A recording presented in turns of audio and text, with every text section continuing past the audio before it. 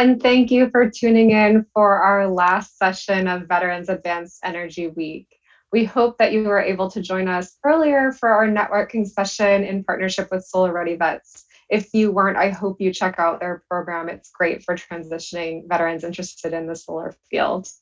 My name is Maggie Jackson. I'm Deputy Director for Climate and Advanced Energy at the Atlantic Council Global Energy Center. And for our veteran audience, I'll also share that I'm a former surface warfare officer. I'm delighted to moderate this conversation this afternoon with Mr. Richard Kidd, the Deputy Assistant Secretary of Defense for Environment and Energy Resilience. Before we get started, a few housekeeping notes from me. This event is on the record and we are currently live streaming on Twitter, Facebook, and YouTube. We encourage you to post about what you hear today and share on social media using the hashtag Vets Energy Week and by tagging us at AC Global Energy and Vets underscore Energy. If you would like to participate in our conversation, we encourage you to submit your questions in the Q&A portal located at the bottom of your screen at any time during the event, and we will incorporate them after Mr. Kidd's remarks. Please note, however, that only those engaging directly via the conference app will be able to submit questions.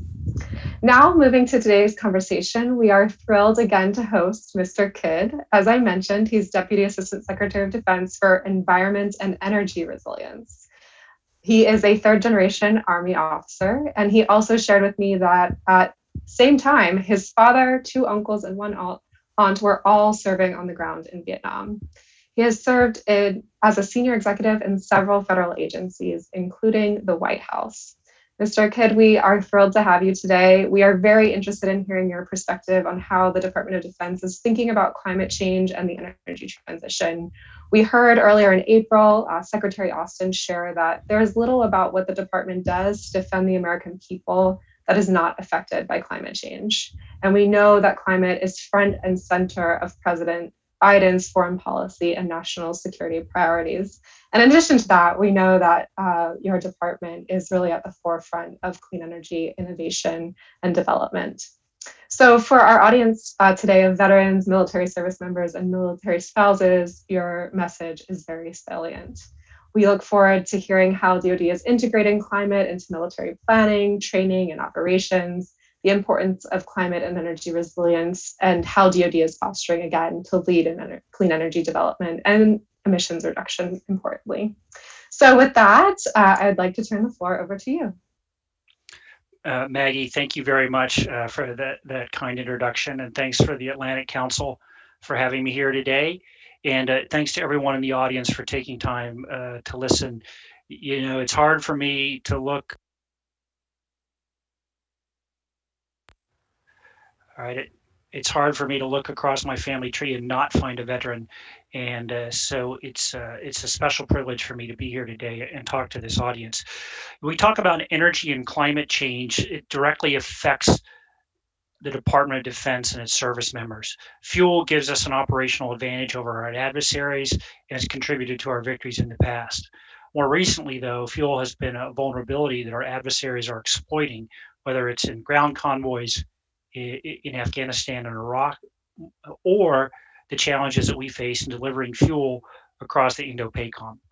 So I'm going to try to talk about quite a bit today, climate change, the implications for the department and how we're responding and uh, and to leave some time for questions.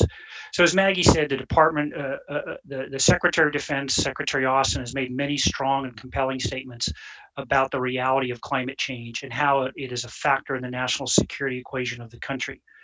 The science is very clear. We have to get to net zero carbon emissions by 2050 or we risk catastrophic outcomes in a manner that will disrupt you know American life, prosperity and welfare the same as any adversary would. So recognizing this, we have to move forward uh, with deliberation and purpose in meeting the goals and objectives of the, the White House and following the best science available.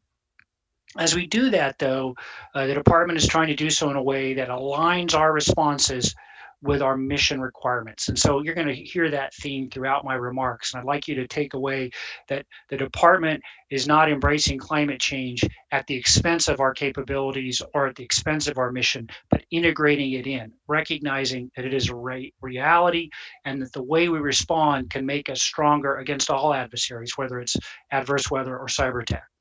So climate change has three implications for the department. Number one, operational requirements. Our operational requirements are going to go up as states begin to fail, as migrations become larger and more prevalent, as we have to respond to humanitarian uh, response overseas, or as we have to meet uh, defense support for civil authorities. A few days ago, my West Point classmate, General Dan Hokanson, Chief of the Guard Bureau, was outlining the National Guard's response, and he says the National Guard no longer has a fire season to prepare for. We have a fire year. So that's the chief of the Guard Bureau just four days ago, recognizing the reality of how climate change is placing demands on our force. And if the Guard is fighting fires, they're not preparing, uh, you, know, for their wartime mission. They're not doing their summer AT training or their weekend trainings. They're fighting forest fires. So, so this has effects on readiness. The second area where climate change has impacts for the department is on our installations. Last year, Tyndall Air Force Base was destroyed in a Category 5 hurricane, costing us $5 billion as a department. Fort Hood uh, and, and uh, Fort Carson have been unable to train and use their rangeland due to wildfire. We've had training uh, activity curtailed due to water, water shortages. Meanwhile, we've had roads and, uh, and training land destroyed due to flooding. Our installations are under pressure. They're where we live, where they're where we build readiness, and they're under threat. Finally, we have to think of our service members and their equipment. 36 degrees wet bulb Celsius.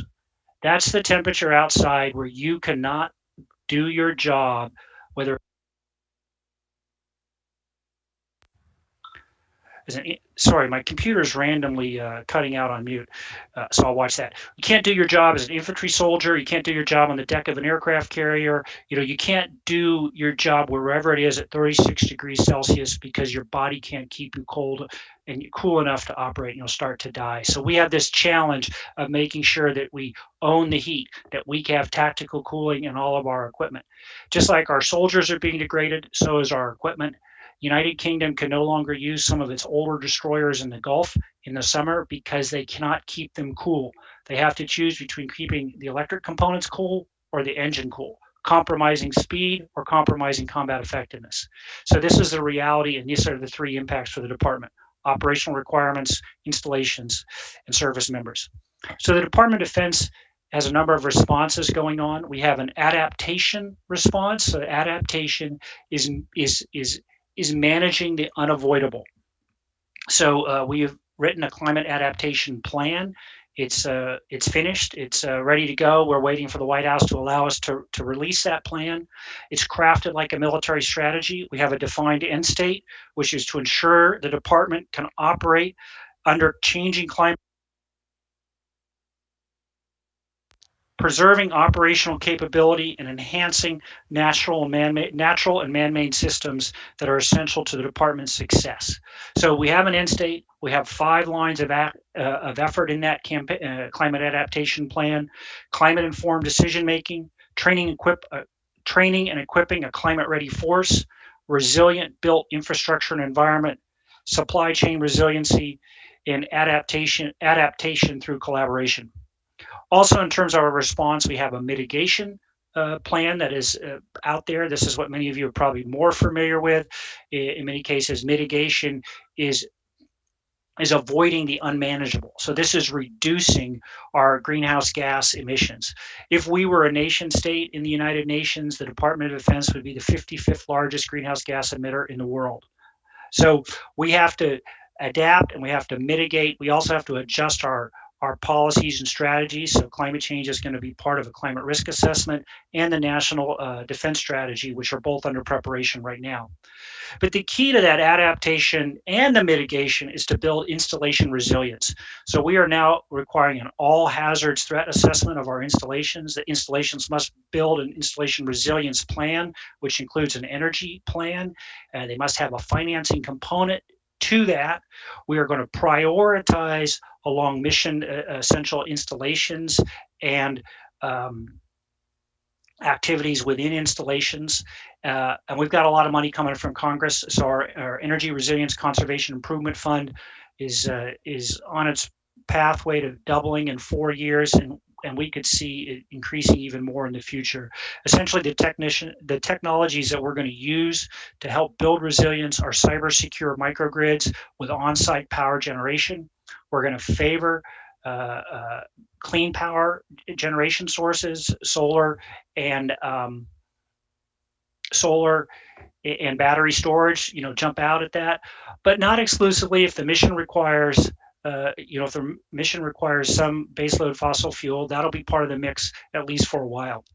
We're going to look to improve the performance of our buildings, and uh, we're, we're going to look to future technologies, whether it's small modular reactors, power beaming, uh, super high efficiency PV, uh, these are all things that are in the mix, and we have a dedicated program of cooperation, ESTCP and SERDP, where we work with the Department of Energy to bring technologies to DoD and help then bring them to market.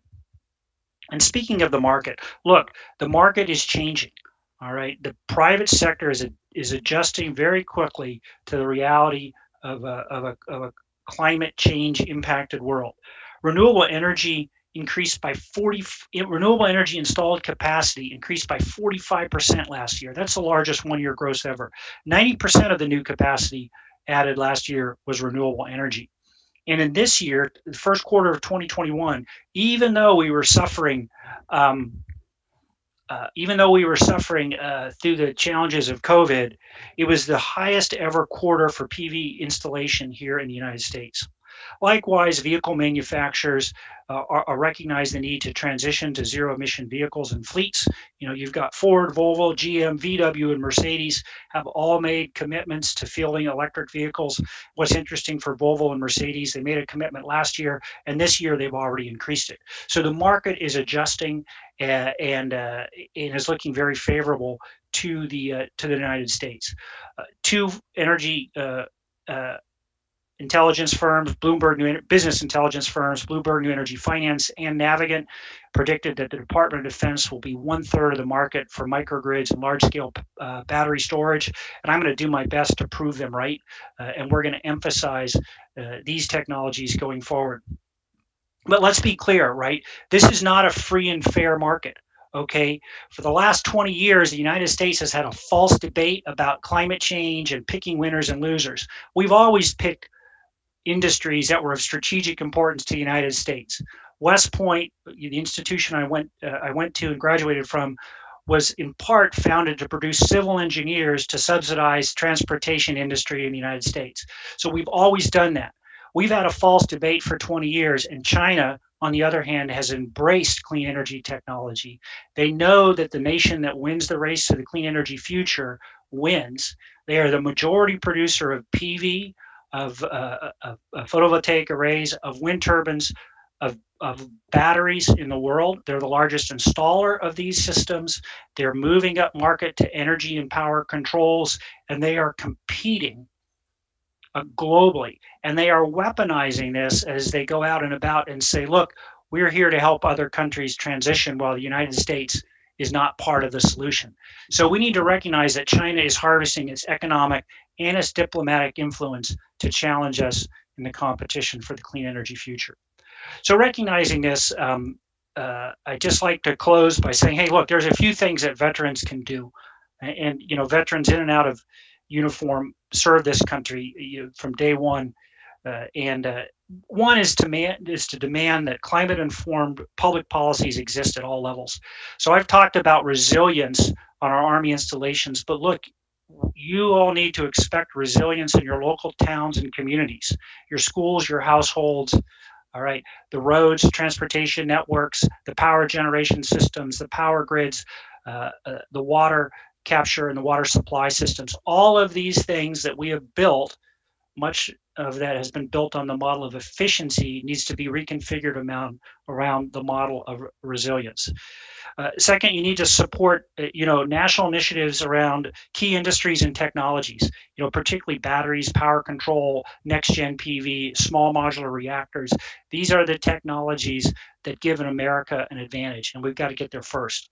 And then where and when you can, you know, if you can, uh, and can adjust your pricing, uh, your, your own personal consumption habits to accelerate the uptake of new technologies. You know, remember when the first flat panel flat panel TV came out, it was like thirteen thousand dollars, and no one's everyone said, "Well, that's crazy. Who's going to buy those?" Well, fortunately for us, a lot of rich people bought them, drove the price down, and now we've all got flat panel TVs in our house. So I drive an electric car, others drive an electric car. I pay seven dollars a month for a renewable energy premium on my my energy bill. These are all things that I do uh, personally to help advance the clean energy uh, uh, revolution, the clean energy future that America needs. Um, I'm going to wrap it up there. Uh, I did I, I, covered quite a bit in uh, in 10 minutes, but I'm happy to take questions. So back over to you, Margaret, and the audience. Thank you so much. I really appreciate that. You did cover a lot, and, and we can unpack some of that. And I saw we have not a question, but a comment come in. Nick, thanks for sharing that. But I will encourage the audience, please ask questions. This is an amazing opportunity to engage with with Mr. Kidd. But I, I wanted to pick up on on what you said uh, just in, in your closing there and about kind of personal responsibility and consciousness around these issues. And I will admit, when I was serving in, in the Navy, again, on a ship, I was a navigator. I was worried about getting from point A to point B. And certainly we thought about fuel consumption. We thought about the cost. We thought about the logistics and, and the headache of where to rendezvous and things like that. But climate change and emissions were not part of that conversation. So, how um, are, are you seeing any shifts around energy and climate consciousness, energy use and climate consciousness in the fleet? And, and how can uh, we improve awareness or what initiatives do you already have? You talked a little bit about integrating climate and you know energy efficiency into training and operations. I imagine that's where it starts, but um, because there is a very human element of this, not only in in the operational sense, but also in the in, in the innovation piece of how we think about solutions and doing this a bit better. Right. So when we talk about when we talk about energy in the operational sense, we don't normally talk about conservation per se. We talk about capability. How can we get the most capability out of the given unit of fuel? And when we talk about capability, it, it makes a lot of sense, and we can model uh, um, decisions around the added capability that we gain from um, from uh, um, improving the fuel efficiency of our various vehicles. So a couple of initiatives in the department, we've now built a senior leader dashboard for Secretary Austin. So while we'll never put a goal on operational energy, so like on, on, on non-tactical vehicles, we have a goal to reduce uh, petroleum consumption in, in field zero, zero emission vehicles. We won't do that on operational energy per se, but we'll, but we will start to track by different platforms and take a look at ways that we can save significant amount amounts of energy. And just by doing that, we realize the largest energy consumer in the department and the largest greenhouse gas emitter is the C17. And saving 2% on the C17, uh, you know, is worth, uh, I'm not sure I got the exact ratio right, but it's worth a huge percentage of our Humvee fleet just because of the difference in the fuel consumed by, by that aircraft. And this is driving some investment decisions in terms of winglets and microvanes, where er, earlier today, I just had a presentation from an aircraft manufacturer who's talking about a new engine for the F-35. It, it, it adds capability, it adds range, it adds thrust, and oh, by the way, it uses 21% less fuel while doing so. So adding capability is is what we think about when we when we think about operational energy. I would just you know ask people to do a uh, a little thought a, a little thought experiment here. So the science tells us very clear that by 2050 we have to be net zero carbon emissions. But we know right now, if you think to the future, probably the last gallon of fossil fuel that's ever burned will probably be burned by the Department of Defense, an aircraft, a ship, or a tank. So that being the case, uh, we as a department also have to think about how we're going to sequester or offset carbon emissions post 2050. And the last thing the Department of Defense needs to do or wants to be is, is the last greenhouse gas emitter in America. So that is not the distinction we, we want to have by 2050. Thanks.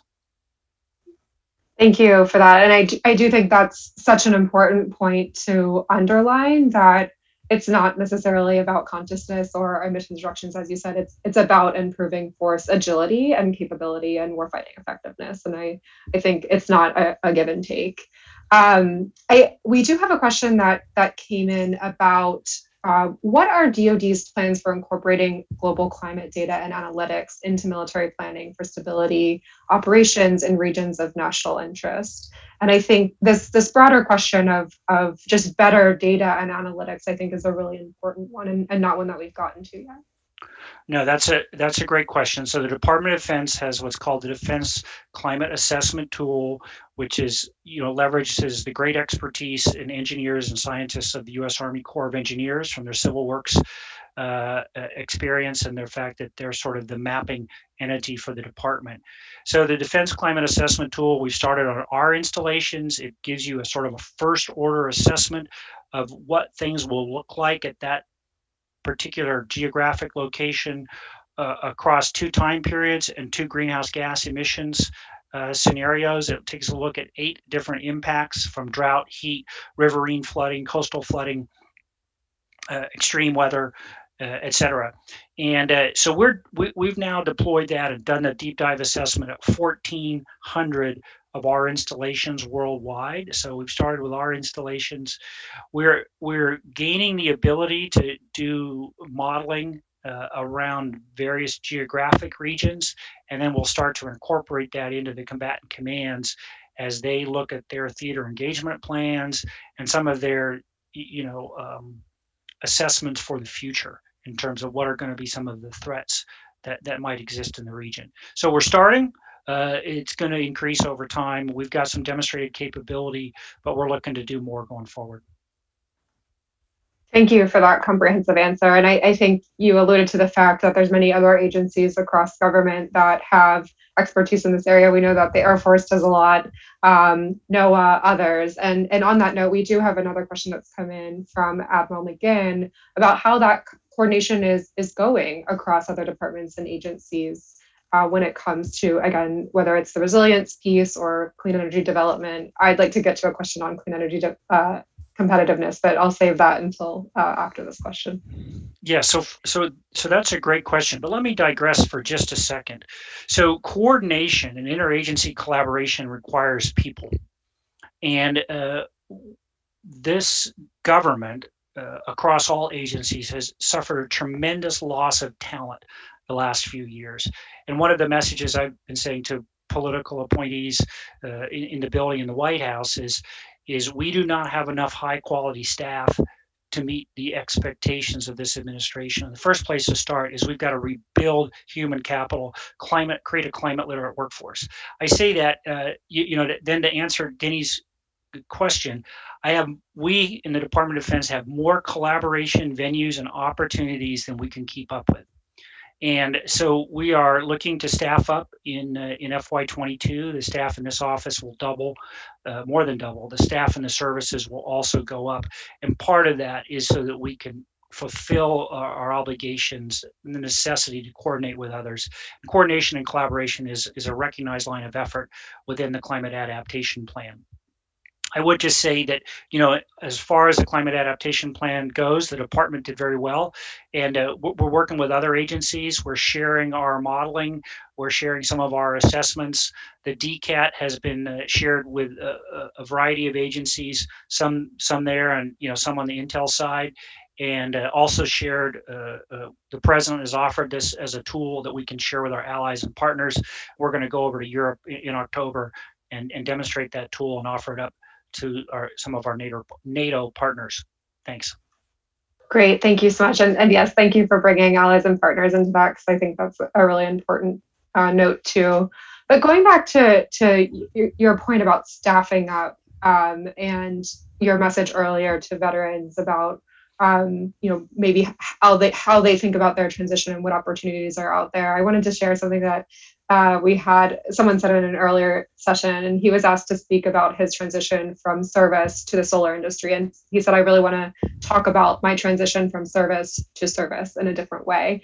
And some of the, the points you just made about needing to staff up um, in terms of, of government, do you see a path for veterans who are interested maybe in the policy space or working on some of the initiatives that you talk about, whether it's in DoD across government? Um, maybe you could speak to first the extension of, of service in a different way, in a different form, and how that circles back to national security. And second, what tangible opportunities there might be just given this transition. Yeah, so I, I love the notion of lifetime service. You know, that's why, you know, for, for me, I, I've always turned down the opportunity to make money in order to keep serving, and I'll probably be cursed with that for the rest of my life. So I thank everyone who continues their service in, in other ways.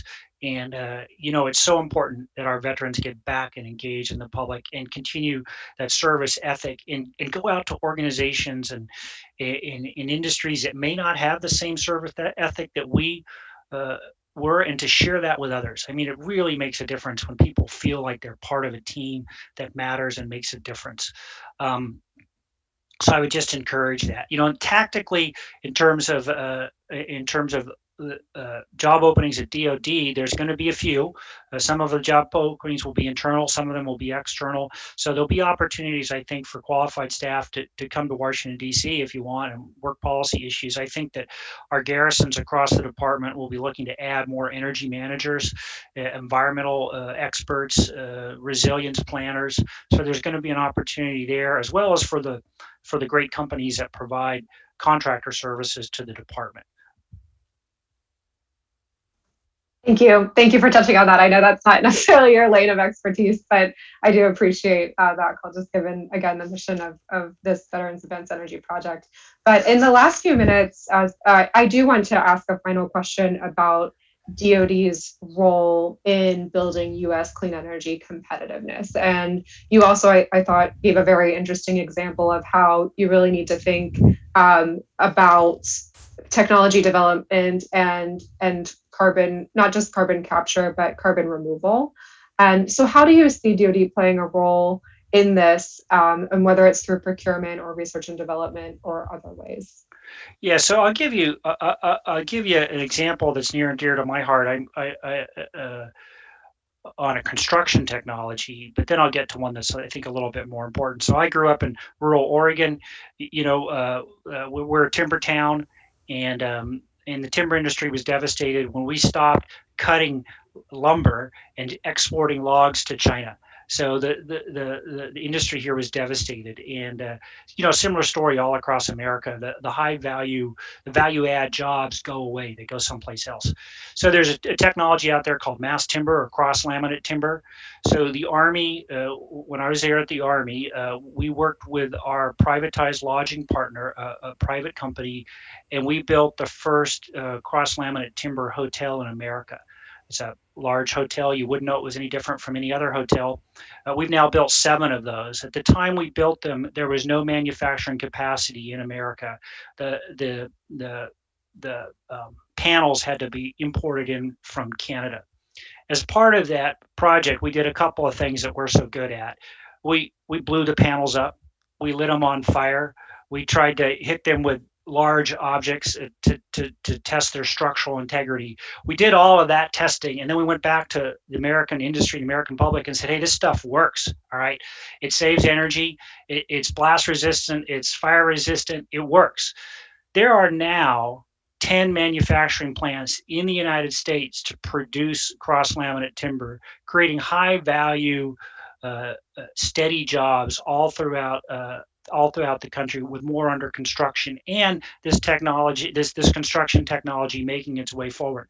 It's more efficient than traditional construction and it actually sequesters carbon if you can certify that the wood is being uh, being re- replanted. So lots of benefits from this technology. Would the country have gotten here without the department? Yeah probably but i think we sped up that deployment process by two or three years. Switching to something that's a lot more important is batteries all right every vehicle, every ship, every plane, every night vision de- device, everything we do has batteries, right? And China has a national battery, battery strategy that includes hoovering up all of the raw materials. It includes making these massive manufacturing plants subsidized and competing for market share across the world. The last thing we can do as a Department of Defense is be dependent on China for our battery supply chain. So, can we use the purchasing power of the Department of Defense to bring battery manufacturing back to the United States to ensure both supply chain integrity and climate change integrity for, for the batteries that we're using now and in the future. If that means buying some uh, zero emission vehicles, if that means being a platform for, for battery storage systems on our installations, absolutely, that's important. It's strategically important for the country. We can't we can't be dependent on, on China or frankly anyone else for the batteries that we need in every piece of equipment in the department. All right, Maggie. So uh, thanks very much. Uh, I, I, understand. You know, I'm just a warm up act. I'm, uh, you know, I, I, I'm like, you know, I, am like a, a, bit player, and you're about to get the Rolling Stones. So I need to exit stage and uh, and let the let the true headliners come up here. Thanks.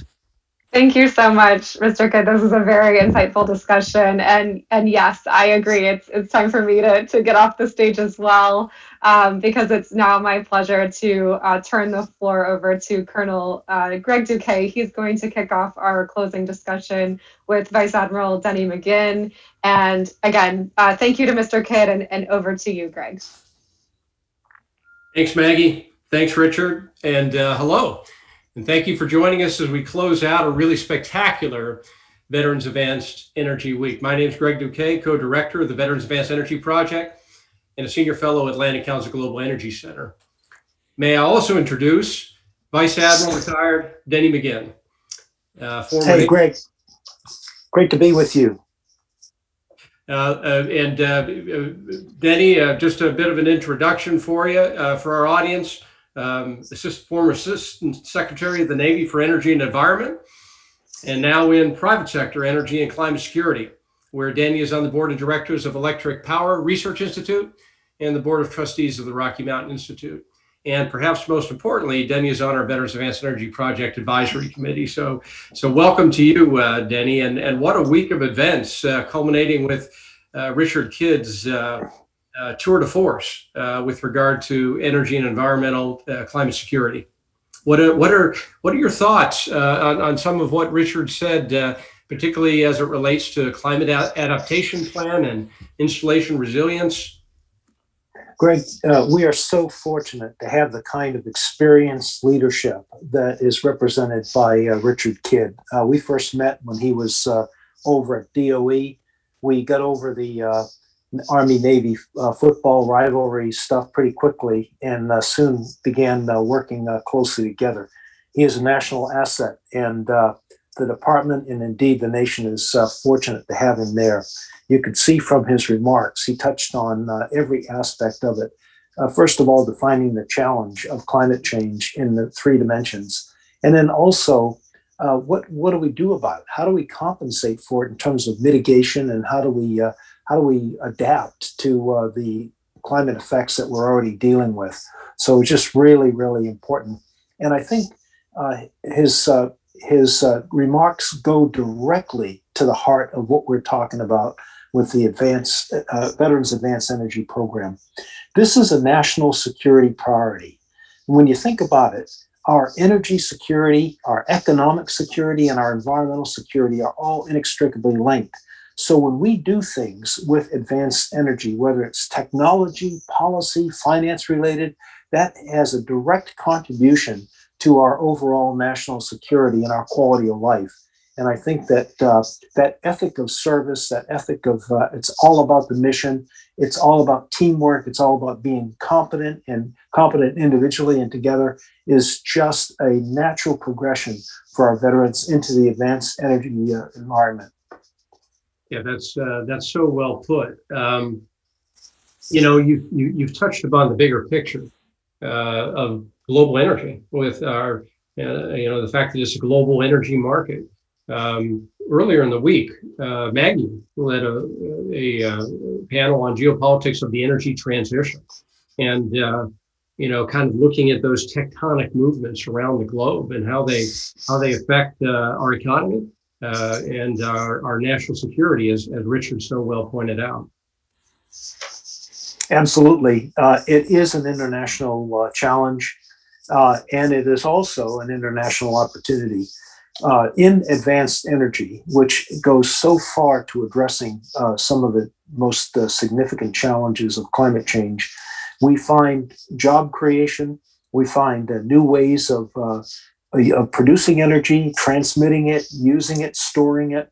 And uh, that is a very, very great opportunity to, to seize, to turn this challenge or these challenges into opportunities uh, we have the Congress uh, debating a huge, uh, over half a billion, half a trillion dollar infrastructure bill, Build Back Better.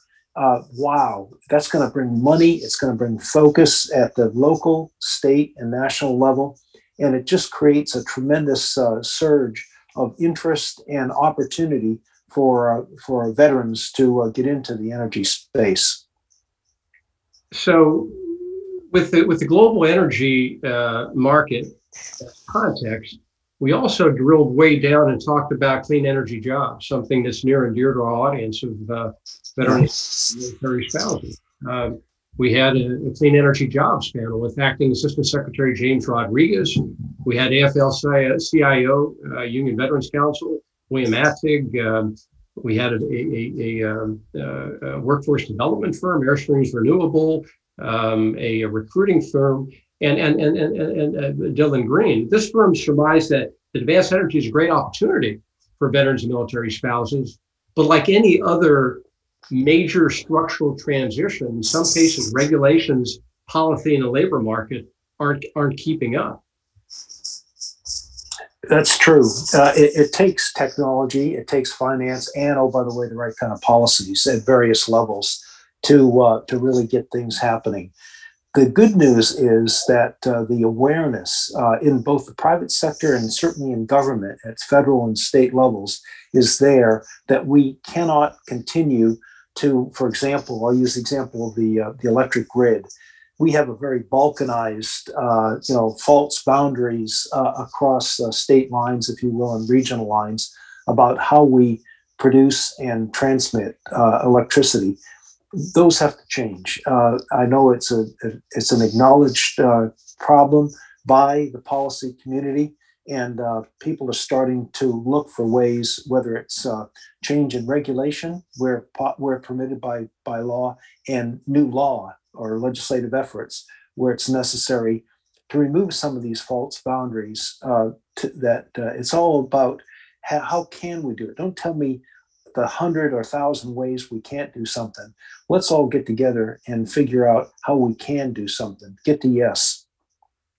You know, I appreciated Richard talking about uh, providing venue to continue to serve, both in the public, but also in the non the nonprofit and the private sector.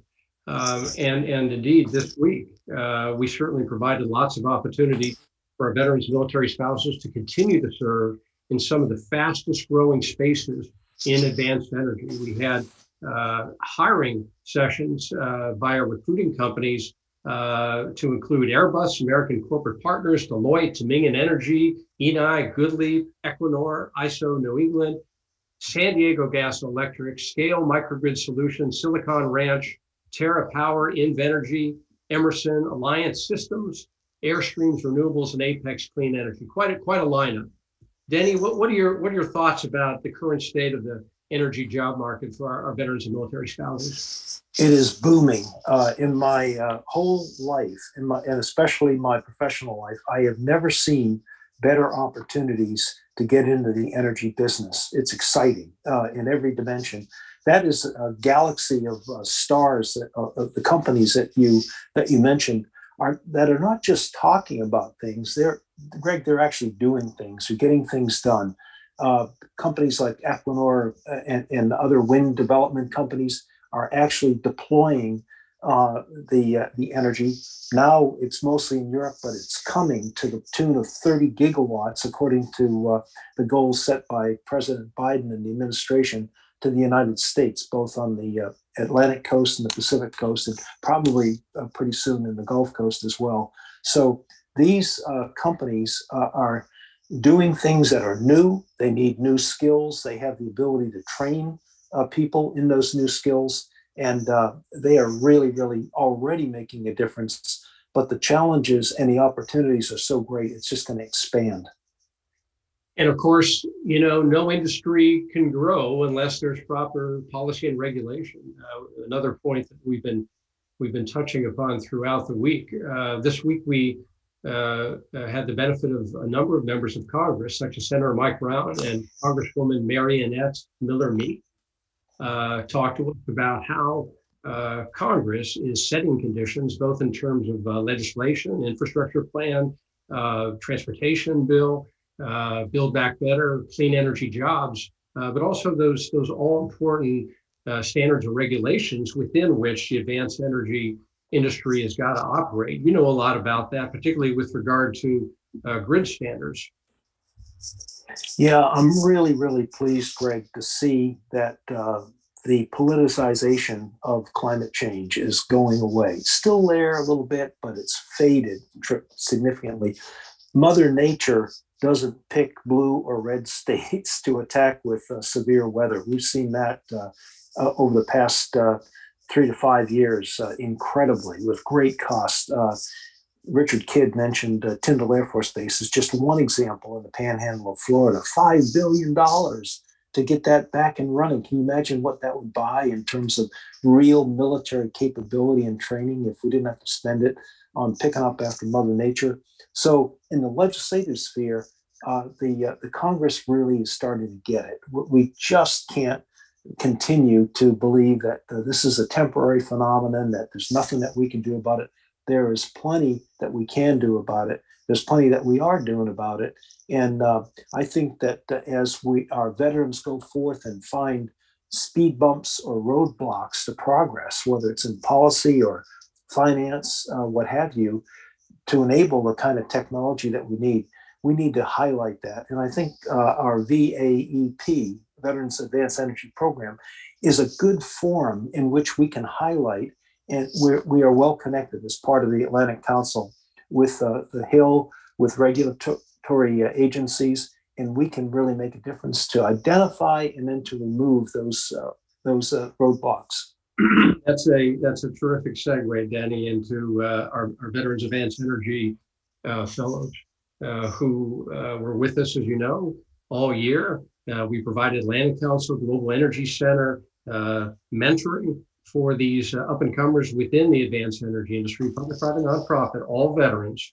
And this week we had the benefit of hearing some of their policy proposals. To your point, uh, to advance the industry. Uh, and just a couple examples of the kind of innovative thinking that we're seeing among uh, our fellows and across the, uh, the veteran and, and, military spouse space. For example, um, John Gillis, uh, who is a, in Argonne Labs, a former Marine, um, suggested a federal program to establish EV charging stations across the country to promote yeah. EV adoption, which, as we know, is uh, all important. And, there's also some standard regulation, uh, part and parcel of that with regard to the, the sta- standard. Um, Jesse Medlong uh, proposed uh, federal tax incentives to private sector companies participating in employee-based programs that rewarded sustainable behavior, such as reducing energy usage and investing in clean energy. Uh, Taylor Searcy talked about an interagency program, uh, which we, we discussed earlier. Your question to, to Richard about it, the importance of interagency coordination uh, to decarbonize U.S. ports, uh, something you're well familiar with, Admiral. Sure. Given how energy intensive ports are. And uh, former uh, Navy Captain Robin Tyner proposed establishing hydrokinetic plants in underserved rural communities to promote energy security. A lot of really great ideas in, in moving us forward, Danny. Absolutely. Uh, and uh, you mentioned many, many different types of technologies with many different technology applications, whether it's uh, shipping. We didn't talk too much about aviation. One of the questions had to do with uh, are we going to see a migration towards different aviation and, and ship and, and combat uh, vehicle fuels? Absolutely. That uh, can do a lot of good for uh, nascent uh, industries. Uh, it's good in the case of biofuels for uh, the rural economy. Uh, we are going to be seeing greater and greater demand by large segments of our economy, whether it's aviation, shipping, manufacturing, uh, commercial developments, for the kinds of uh, energy options, energy tools that are going to get us to uh, eventually to a net zero carbon by uh, 2050 and, and even more, more so beyond. As we make that journey, we have to be mindful, and I hear this from uh, our utility partners all the time across the country. We need to be mindful on the path to, de- to decarbonization of the need to maintain reliability of keeping the lights on, resilience to be able to respond to cyber threats or mother nature or mechanical failures, and also affordability. We, we've got to uh, get to that decarbonization and do it in a really, really smart way. That's where uh, veterans come in. With their, they know how to get the job done. They're innovative, they're teamwork oriented, and extremely talented. So I think that uh, that path to, to a decarbonization with reliability, resilience, and affordability is going to be a, a good one. Well, with that, uh, with that charge action, uh, Denny, um, thank you very much for this conversation. And, uh, and thank you also to our team here at the Veterans Advanced Energy Project Global Energy Center. Um, and it is now my pleasure to turn it over to the Global Energy Center Director, Randy Bell, for final comments. Thank you so much, Vice Admiral McGinn and uh, Colonel Douquet, for your words of wisdom and uh, closing call to action for our veteran audience today after four really phenomenal days of programming. Again, uh, as Greg said, my name is Randy Bell. I'm the director of the Atlantic Council Global Energy Center and Richard Morningstar Chair for Global Energy Security. And it is my job right now to close out what has been a truly remarkable week there's a lot that the Global Energy Center team does that I'm really, really proud of. But our annual Veterans Advanced Energy Week is, I think, probably the most meaningful and immediately impactful of all our efforts. It links high level policy conversations with the jobs and the people who can support those policy goals. There's, there's really nothing else like it. This year, over 250 veterans, reservists, military spouses, and active duty service members from around the country and around the world joined us in our panel conversations, energy film screenings, networking sessions, and recruiting sessions with 16 participating companies. We were so thrilled to have all of you join us this week. Thank you for your service to our country. We really hope you found this event useful. So throughout the week, we had over 65 speakers from Congress, the Departments of Energy, Labor, State, and Defense, the private sector, and civil society participate in engaging conversations on the energy technologies and policies of the future, the role of the Department of Defense in the energy transition, the prospect for the post-pandemic energy employment landscape, and energy justice in tribal communities, among other topics, a really wide-ranging set of conversations. And veterans from across the sector joined our program to share their experiences transitioning from service to the clean energy workforce. We want to encourage all of you to rewatch our conference content through the app or on the Atlantic Council YouTube channel. Reach out to the connections you've made throughout the week and make sure to connect with the company recruiters, recruiters who participated over the past four days. All that information is available in the app and you'll have access to that for the full calendar year. Now, none of this would have been possible without the generous support of our sponsors. So I want to sincerely thank this great group um, Apex Clean Energy, Emerson Electric, Invenergy, American Resilience Project, American, American Clean Power, Consumers Energy, Georgia Power, ISO New England, Scale Microgrid Solutions, and the Truman Center for National Policy. I also want to thank all of our recruiting and participating companies and the veteran and HR representatives who took time to speak to our participants throughout the week. Finally, this conference would not have come together without the tireless work of our team. I want to thank Dan Mish and Greg Douquet, who lead the charge as co-directors of the Veterans Advanced Energy Project, Zach Strauss and Maggie Jackson, chief organizers of Veterans Advanced Energy Week, and our tireless Global Energy Center interns, Nadia Udochi and Geronimo Gutierrez, and the whole of the Global Energy Center team, the entire Atlantic Council events team, communications team, editorial staff, the AV managers, Jackson Styron, Roger Morales, Peter Gonzalez, and the whole community of people who put this program together. It really takes a whole bunch of people to make this happen. on a final, uh, uh, somewhat sad note, but but um, but really really fantastic for for our country. I would like to say a public thank you to Maggie Jackson, who, if you didn't know already, you got to know over the course of this week. Her last day at the Atlantic Council is tomorrow. She'll be starting a new role with the USG very soon. It's not yet public where she's going, but it is jaw droppingly impressive. So please do congratulate her. Maggie, we will miss you and we hope you come back to the council when this, this job is over. I also really want to give a personal thanks to Zach Strauss, who really, really just threw himself into this effort this year and did such a remarkable job. So thank you, Zach. Um, and with that, I want to thank everybody out in the audience one final time. Thank you for joining us this year, and we hope to see you again next year. Thanks so much.